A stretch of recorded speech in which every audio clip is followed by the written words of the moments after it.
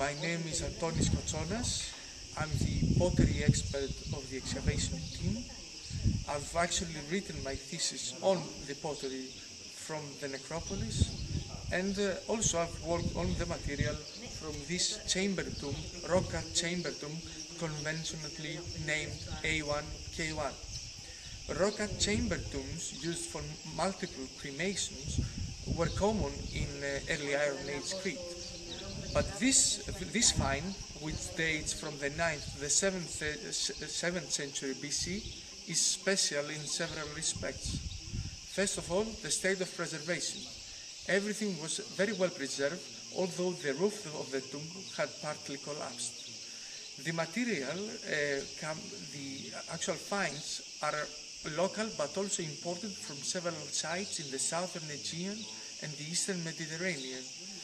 And uh, also, uh, the physical, anthropological, and environmental data have been collected, and uh, a multi-volume publication is on the way.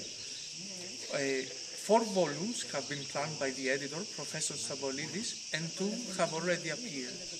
The first that came out was by Professor Anagnostis Agelarakis on the uh, osteological material of the human bones, which mostly belonged to adult males. The second volume that came out was my personal work on the nearly 400 clay vases from the tomb. And there are two more volumes to come. So it's a team effort, an interdisciplinary effort, and also a very demanding task. There are finds from various materials, precious, semi-precious, or common finds made of iron, bronze, clay, uh, and various exotic uh, and or rare materials. Uh, a team of experts is working on the remaining two volumes, and the the publication, when it when every volume is out, will be a standard reference for the archaeology of Crete of the period in question and the Aegean uh, in general, and also a reference point for uh, uh, on how to excavate and publish a collective tomb. Now, the tomb was used from the 9th to the mid 7th century. By that time, the, the chamber was full of urns. There, there were more than 100 urns, mostly clay but also bronze urns, with their lids and associated uh, finds. The, after that point, the, the people that used the tomb persisted uh, depositing uh, urns in the dromos of the tomb or just above by the iron beam that you see. The iron beam is there to support an overlying monument that caused the roof to collapse at some point. The, the monument was built on the beginning of the 7th century to hold a special burial kept in an amphora.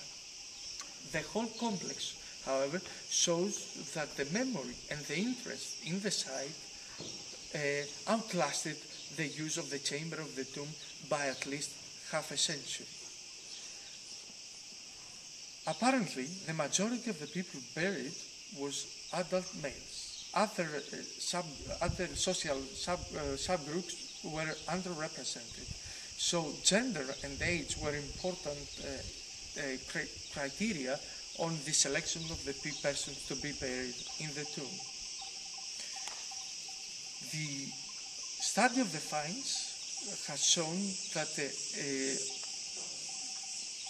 the, the context was undisturbed and can help build a chronological uh, and typological uh, sequence. This sequence will be a reference point for the archaeology of Crete and the finds with its uh, archaeological, uh, typological and sociological implication will be of tremendous importance for the archaeology of the Aegean.